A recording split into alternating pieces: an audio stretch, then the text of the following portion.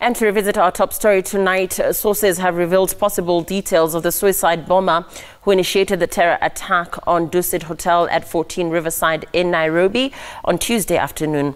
The sources say that the suicide bomber who blew himself up at Secret Garden was Mahir Khalid Riziki, born and raised in Majengo in Mombasa town. Mahir is said to have attended Musa Mosque where he was before being radicalized and recruited into the Al-Shabaab terror outfit.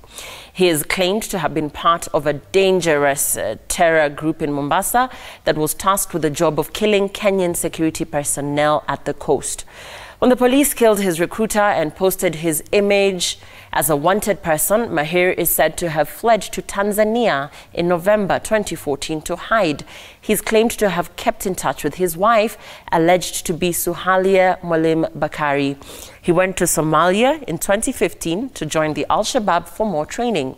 He's said to have then sneaked back through Mandera on Sunday, January the 13th, and went to live in Ruaka to join with the ringleader Ali Salim Gichunge.